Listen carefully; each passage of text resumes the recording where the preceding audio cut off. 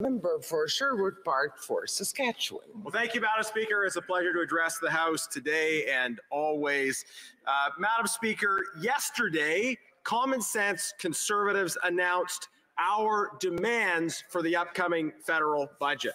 Uh, we called on the government to axe the tax on farmers and food by immediately passing Bill C 234 in its original form. We called on the government to build the homes, not bureaucracy, by requiring cities permit 15% more home building each year as a condition for receiving federal infrastructure money.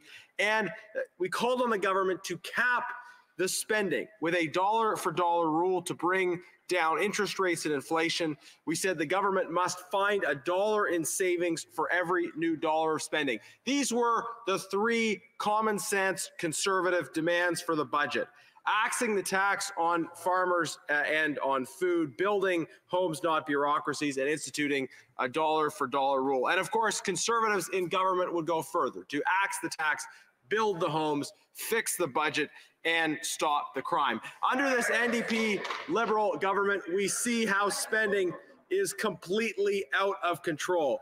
Uh, under this Prime Minister, Canada will spend $46.5 billion this year to service the debt. That's more than the federal health transfer. The government is spending more servicing the debt than the federal health transfer. The Honourable Member, the Honourable Parliamentary Secretary is rising on a point of order. Madam Speaker, when the budget comes out, um, the member will be provided a wonderful opportunity to talk about a budget. Uh, it'll be coming up very soon, very, very soon. But today we're actually debating uh, about an individual, yes. Mr. Uh, coming before the bar. The honourable member knows there's a lot of leeway in how we introduce subjects. I am expecting the honourable member for Sherwood Park Fort Saskatchewan to get to the heart of the, the motion. Thank you, uh, thank you, Mr. Speaker. I, I know, uh, Madam Speaker, uh, the the member opposite is uh, is enthusiastic uh, to to hear the rest of my speech, and I invite him to uh, to hear it now. Um, the Prime Minister uh, is responsible for forty-six and a half billion dollars this year in debt servicing costs. That is more than the federal government will transfer in healthcare. Astronomical amounts of money being given to bankers and bondholders uh, for this prime minister's out of control debt. This prime minister is not worth the cost, the crime, or the corruption. Now, today, uh, as the members pointed out, we're not debating the budget directly. We're discussing a question of privilege uh, that relates centrally to government spending, to how this government spends taxpayer dollars, uh, and um, and the controls or lack of controls associated with that spending. Um, and the point I want to uh, emphasize is that this scandal, this Arrive scam scandal, is intimately linked to overarching questions about how taxpayer dollars are spent.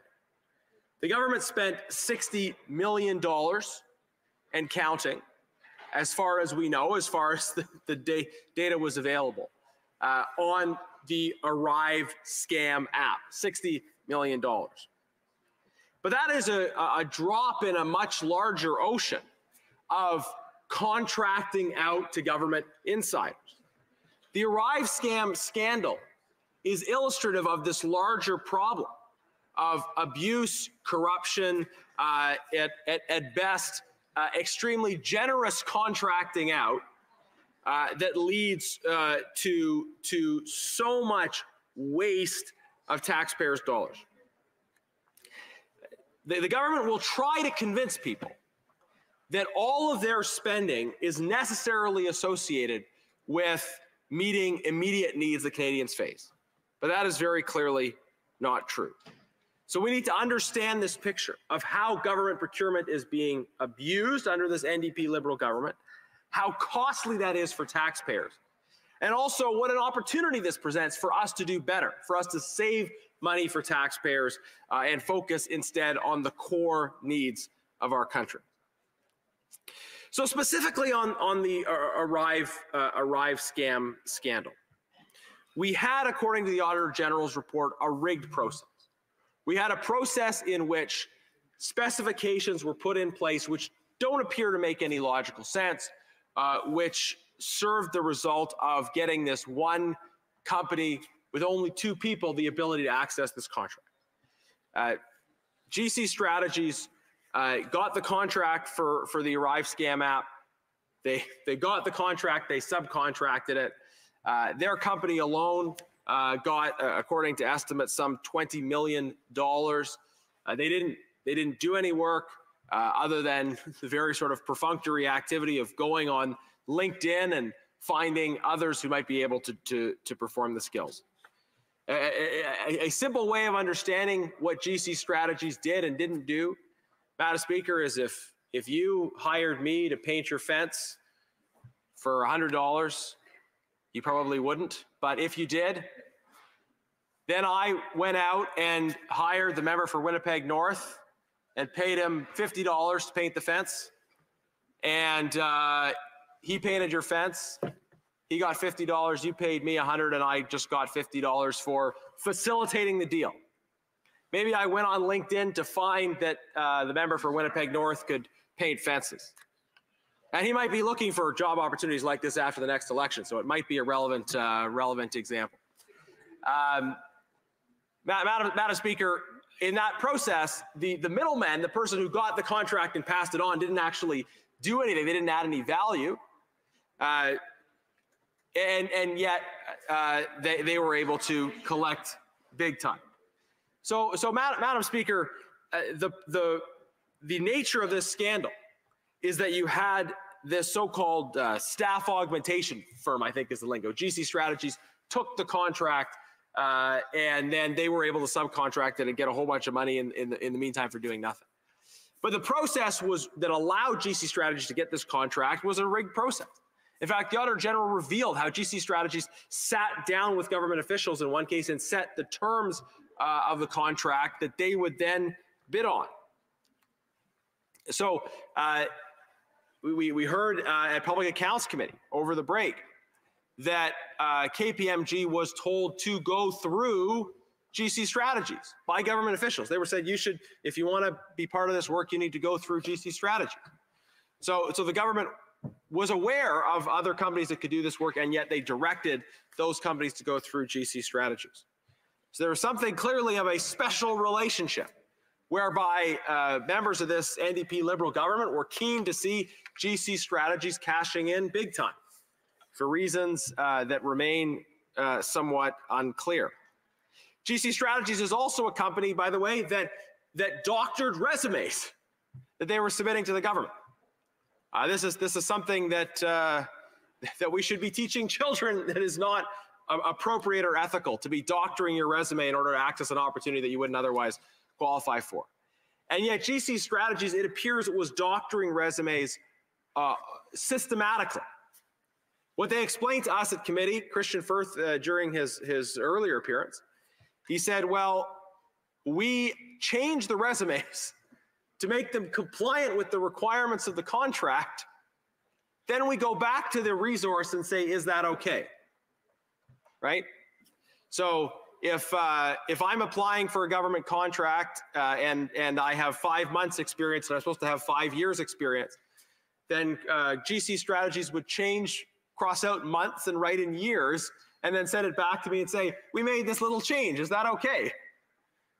And then they would send it off, send it off to the government afterwards.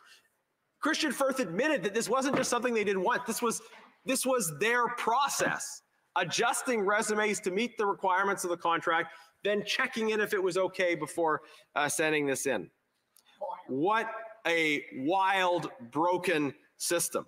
Madam Speaker. So, so we have rigging of the process. We have systematic cheating, uh, things that uh, that uh, that young children should know are, are highly unethical. Uh, that seem to have been happening systematically in the government, despite these obvious problems with GC strategies. Uh, this Liberal NDP government was keen to push other companies to work through the GC strategies. And then we have uh, obfuscation at committees accusing people of lying. So these are some of the particular issues around the Arrive scam scandal. Uh, but, but to think about this in the context of the budget, of the overall fiscal situation. So we've been digging more on, on Arrive scam to ask what are the procurement practices that allow this sort of thing to happen? What's happening more broadly inside of government that allowed $60 million to be spent in this case. and for nobody to seem to, to notice or care? Well, first of all, this process of contracting to people who contract to other people, it, it wasn't just a one off. It wasn't something that just happened in the case of ArriveScam. We found that there are, get this, Madam Speaker, 635 companies who do IT staff augmentation for the federal government. 635 companies whose job it is to receive contracts and then contract out. So, so I think there are cases where contracting out is likely legitimate. But I'm very skeptical of the fact that there is any value in contracting out to those who subcontract and perhaps further subcontract after that. That the, the general contractor project management function should be able to be performed inside of government. And yet we have 635 companies that do IT staff augmentation only, that act as these middlemen, Madam Speaker, these, these, uh, these, these middle companies who receive contracts and contract out. 635 of them in the IT space alone. So that's not just a one-off. That's not just the Arrive Scam Act. This is a larger issue with how the government tr treats money overall. The larger issue is systematic growth in contracting out and contracting out to those who just do this quote unquote staff augmentation piece. We've seen how in the midst of dramatic growth in spending on spending in the pub, public service, there has also been dramatic growth in spending for contracting out. The government is spending tens of billions of dollars in contracting out, uh, some of it for uh, management consulting. We've talked about uh, the, the enormous growth in spending on McKinsey. Uh, so, so contracting out for management consulting, contracting out to those who further contract out. So we're, we're spending more inside of government. We're also spending dramatically more outside of government. And you would expect those things to be uh, inversely related, that if we're spending more growing public service, then we should be contracting out less. Or maybe if we're contracting out more, that should correspond to uh, having a smaller public service. But the government is growing the size of the public service and contracting out more at the same time. This NDP Liberal government clearly has a profound lack of respect for taxpayers' dollars. And, and they're going to try to tell you, well, well, uh, conservatives want to fix the budget. Where's the money going to come from? Is this going to mean cuts, Madam Speaker? But, but when you look at how broken our contracting system is, when, when you look at, at 635 companies doing staff augmentation in the IT space, tens of billions of dollars being spent on contracting out, I would say pretty clearly there's a lot of room to get the budget under control. We, we, can, we can actually stop giving money to these outside companies that are abusing the taxpayer and providing no value. And we can instead provide tax relief to Canadians who need it. We can instead axe the tax, build homes, cap spending. We can get our budget under control if we fix these grotesque abuses in, in government spending. Now, one key aspect of this scandal we need to ask about is where was the minister? Where was the minister in all this? Because it's right and important that we demand answers from these contractors. But you know, Canadians elect members of parliament from which emerge a, a, a cabinet and, and, uh, and a government, an executive branch, who is supposed to be accountable for the decisions that that government makes, uh, who are supposed to be, be providing oversight and policy direction. Uh, of course, ministers aren't involved in the minutia of, of every decision, uh, but they are responsible for the culture and the policy frameworks that are established. And the, the, the best we've heard from ministers on this, I, I asked the Minister of, of Procurement uh, about kind of what he what he was doing in the midst of this Arrive scam scandal. Actually, there have been there have been a number of different ministers. I think it's been four ministers just in the period since the pandemic that have been responsible for procurement. So so there are there have been many hands that that should have had an opportunity to impact this process.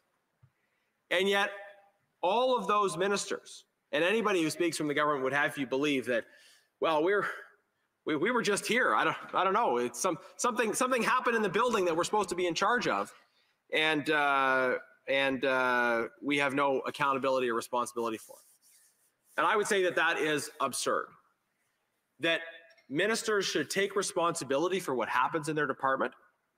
Uh, they should establish clear expectations in terms of accountability, ethics, respect for, for taxpayers' dollars. And when costly criminal corruption is occurring under the watch of a particular minister, then the minister should have some uh, responsibility, should have some response to what she or he was doing uh, in order to, to address those concerning events. The minister, the current minister for public safety, when he pardon me, for, for public services and procurement, when he was before a committee, I asked when was he briefed and what did he do? And he said he received a briefing and he provided no directive in terms of action in response to this scandal. Uh, unbelievable. The, the descriptions by public servants are that ministers receive briefs, remain apprised or seized of what's going on, but then ostensibly do nothing, have no role in actually shaping policy outcomes. And that's, and that's just unacceptable. Uh, at, at best, this government uh, has been a, a disinterested passenger uh, in the midst of, of declining respect for taxpayers' dollars. But I think that's actually an overly charitable uh, uh, description. I think this government uh, has itself has shown flagrant disregard for taxpayers' dollars and has been complicit in various corruption scandals over the eight long years that they've been in power. But even, even in their defense, this government says, well, the minister had nothing to do with it. You know, we, we have someone in this government whose title is the Minister for Public Services and Procurement. And yet, when there's one of the biggest procurement scandals in this country's history, the government, the government says, well, well, uh, you, you can't expect the Minister of Procurement to have anything to do with a scandal in procurement, right? Like, like it's, it's just in the name right? Uh, uh, Madam Speaker, I, I had proposed at committee, and it elicited uh, points of order, maybe it will today, but I had proposed in committee that we could replace the Minister of Public Services and Procurement with a potted plant, and we would have the same result. A potted plant could receive briefings naturally. A potted plant could be apprised of events, though would obviously not take any action in response to those events. Um, we have we have ministers who were in the room who received briefings but did nothing. They would want us to believe that, that their role as, as a minister in procurement is, is to simply be there, to hear things, to be interested in those things, to receive updates. Again, Madam Speaker, we could save um, a drop in the bucket in, in comparison to other money that could be saved, but we could at least save a minister's salary if, if we replace the current procurement minister indeed with some uh, such inanimate object. Madam Speaker, uh, my, my time being short, I want to underline that the Arrive scam scandal, as bad as it is in and of itself, is a drop in this larger ocean of government waste and corruption. Uh, there are tens of billions of dollars being spent on, on, on contracting it. Uh, there is there was clearly a, a, kind of a basic incontinence in associated with government spending. The money the money just just flows out for no discernible reason, and the processes uh, are are rigged. There's there's obfuscation, unresponsiveness at committee. And the latest is uh, that we, we've seen how uh, the indigenous procurement rules are being abused by insiders. Insiders who feel they have no obligation uh, to bring about any benefit to Indigenous communities through their access to Indigenous procurement set aside. And I think there's a lot more work that needs to be done to understand what are the abuses of the Indigenous uh, procurement process that have been happening under uh, under this government. Uh, very troubling uh, uh, information that's come out. Uh, for instance, D- David Yeo saying, "Well." The point of this program isn't to benefit Indigenous communities; it's just to benefit me as, as an entrepreneur. Well, I don't, I don't think that's the point of the policy, Madam Speaker. So we see cost, we see corruption, we see crime happening under this government. Uh, and this privilege motion is one key piece of getting to the bottom of what happened, demanding answers from Kristian Firth that he was unwilling to give at committee. And this will help us uh, uh, suss out in, in detail all the, the crime, the corruption, and the cost that we are seeing under this NDP Liberal government. Enough is enough. Uh, Canadians are looking for an alternative that will respect taxpayers' dollars, that will restore uh, probity in spending, that will bring it home. Thank you. Questions and comments? The Honourable